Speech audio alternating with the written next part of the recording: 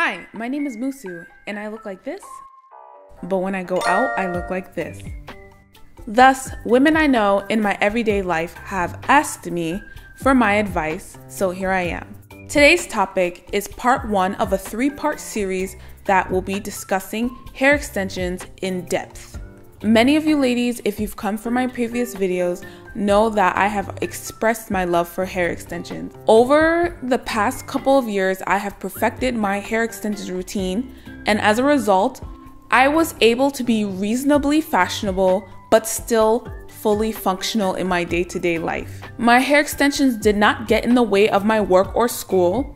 I was able to give those my full attention. And although I may not look like your favorite Instagram model, I still look beautiful and well put together. My natural hair was even able to flourish underneath my wigs and weaves. So, if you're looking for a place where you still want to look beautiful and you have a hectic lifestyle and you're a woman on a budget, this video is for you.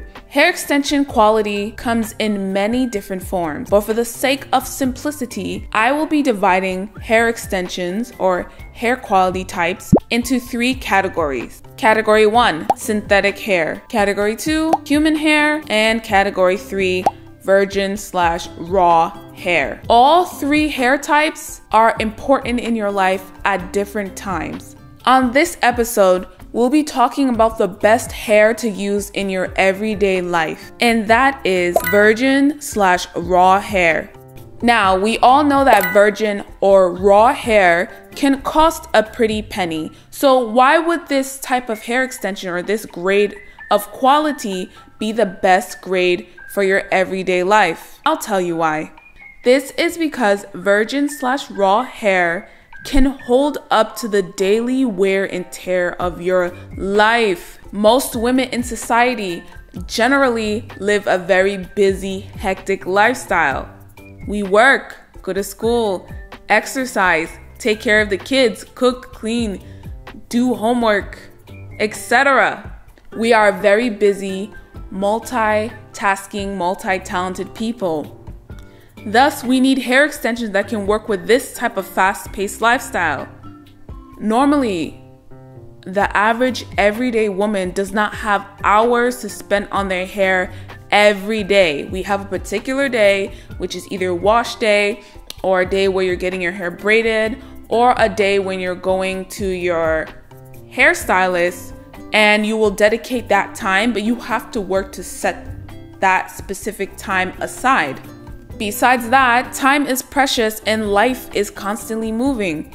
You need hair that can keep up with your lifestyle, and most importantly, hair that will still look nice while you actively live through the hustle and bustle of everyday life.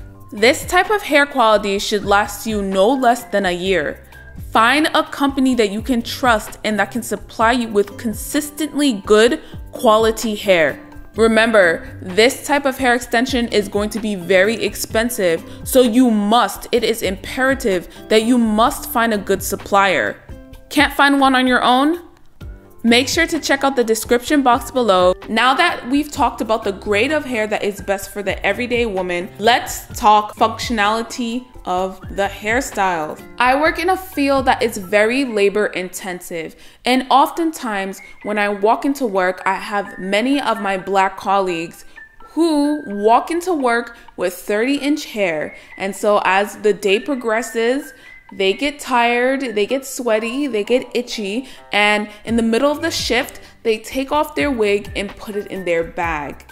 And oftentimes they will just walk around with their braids because they feel as though they are free. Remember, it's a very hands on, very labor intensive position.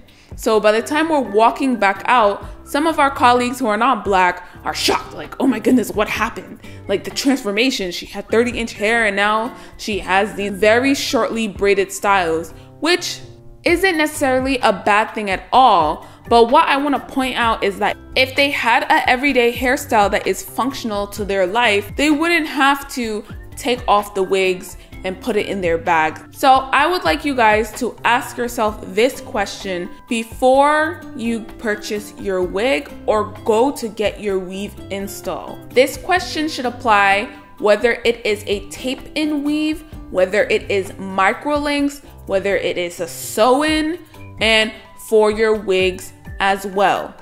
The next point I would like to make is about choosing color. I am going to be 100% honest with you all. Color hair that is normally color that is outside the normal spectrum is for wealthy women.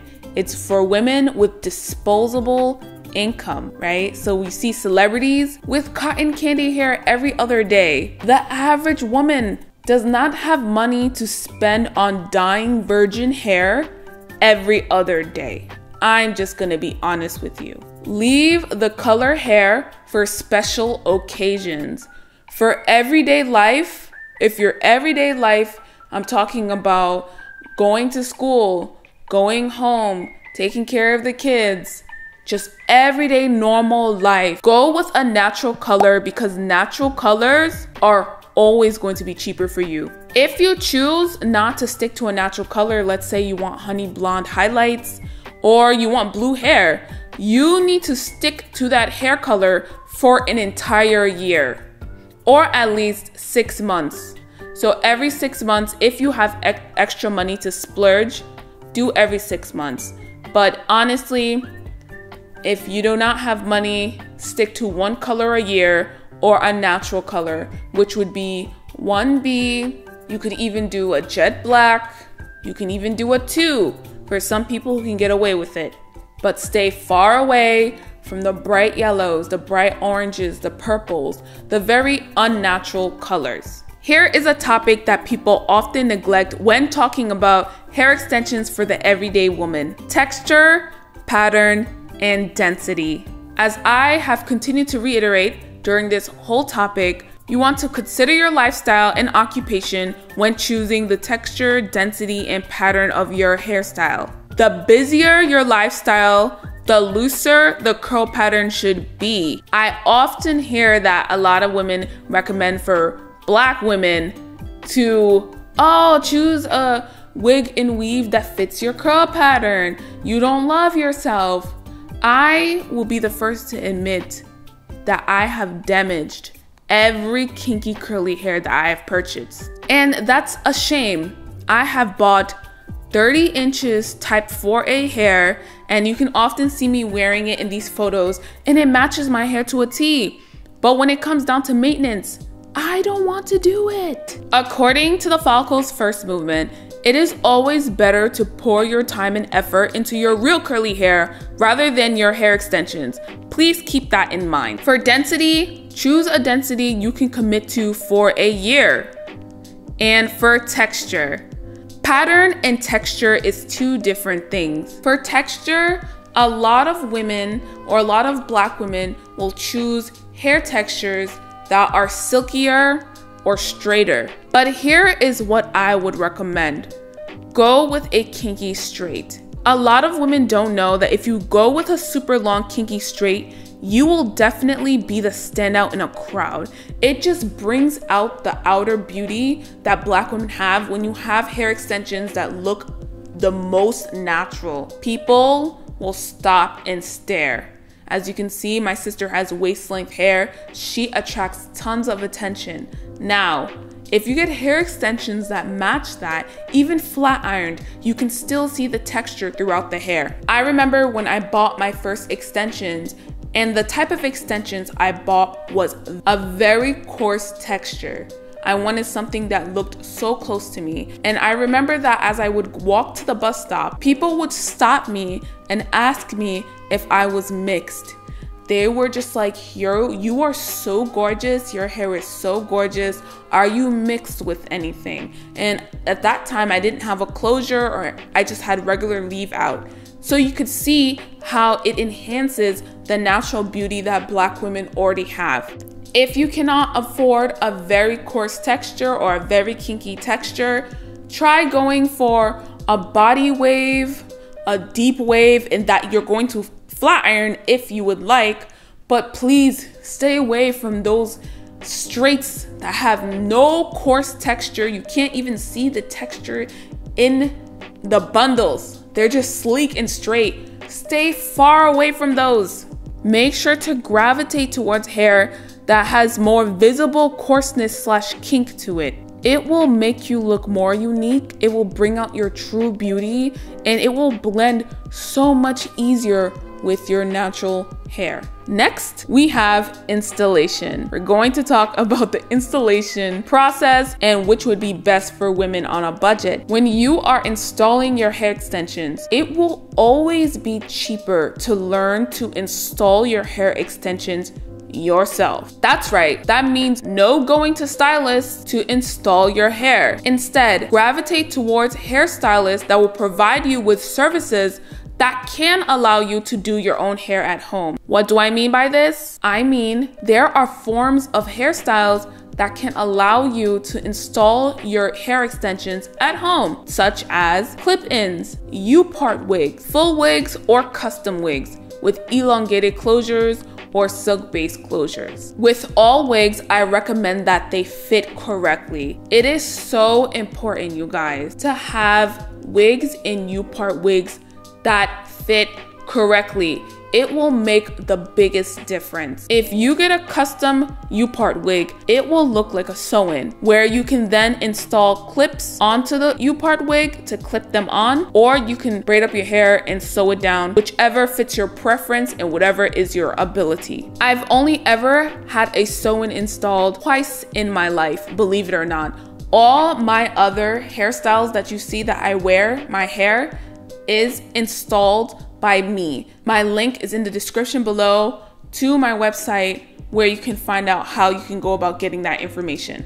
All of my full wigs fit very well as well. I do not struggle with lumpy wigs or wigs that look unbelievable. For leave outs, your blending technique is so imperative, it's so important. Whether your hair is curly or whether the hair extensions are straight. If you need help with proper blending techniques, if you need help with your leave out care, the Waiting Room NHB is the place to go. It's going to help you learn to not only manage your leave out, but also learn how to properly grow your hair long underneath your wigs and your U parts in the comfort of your home. The last thing I would like to talk about is budgeting. Remember, I said that virgin hair is the best type of hair for black women to purchase for day to day life. But many of you are looking at me like, how will I afford that? Well, there's certain times during the year where the sales are high, okay? You wanna pay attention to those. You also want to save. I have a budgeting worksheet. Once again, the link is below. You can click and go to my site where I'll have all this for you in one bundle with a budgeting worksheet where you can keep track track of your savings as well as techniques to save so that you can reach your goal to get your hair extensions. So I hope that my tips have helped some of y'all out there. Let me know if this video was helpful and thank you so much for tuning in.